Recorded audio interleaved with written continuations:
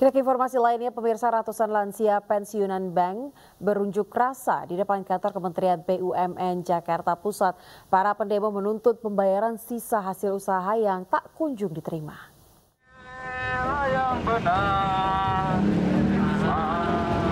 Diawali dengan aksi Long March, ratusan pensiunan Bank Bumidaya ini berorasi menyampaikan sejumlah tuntutan di depan kantor Kementerian BUMN Jakarta Pusat.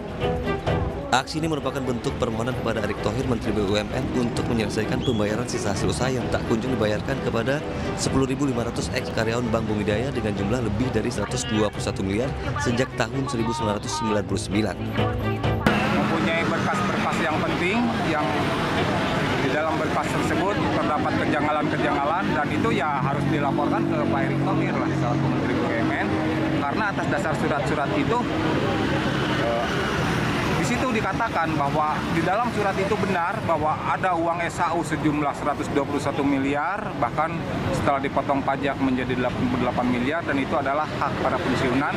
Aksi berlangsung damai namun para lansia ini mengancam akan kembali menggelar aksi yang lebih besar jika tuntutan mereka tidak terpenuhi.